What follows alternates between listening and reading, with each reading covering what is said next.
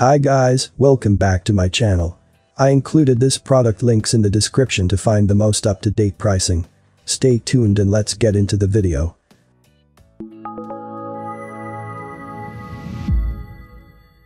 Philips HD92 2029.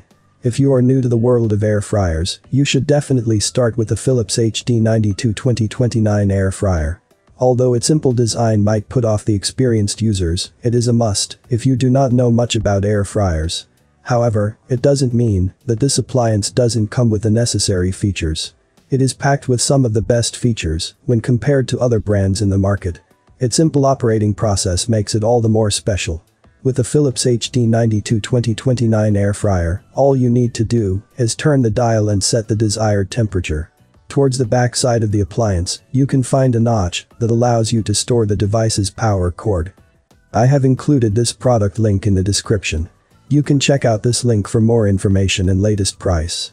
Thank you for watching this video. Please subscribe to my channel, leave a like and share with your friends. Until next time, hope you all have a great day.